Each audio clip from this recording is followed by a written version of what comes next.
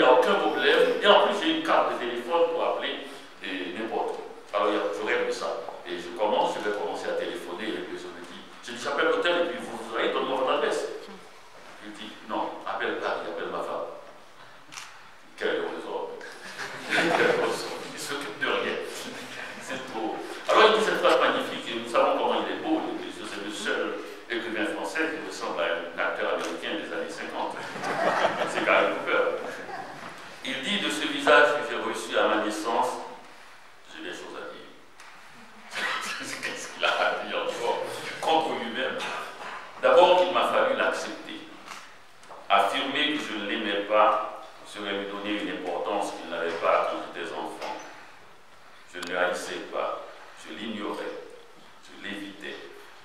Je ne le regardais pas dans les miroirs pendant des années, je crois que je ne l'ai jamais vu. Sur les photos, je détournais les yeux comme si quelqu'un d'autre s'était substitué à moi. T'imagines, moi, j'ai le visage de l'éclésion, mais je courtise toutes les filles.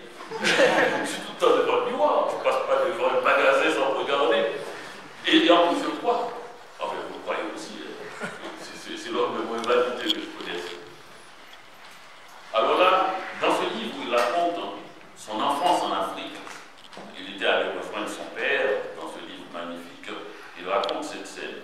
Je garde le souvenir cuisant que je vous ai raconté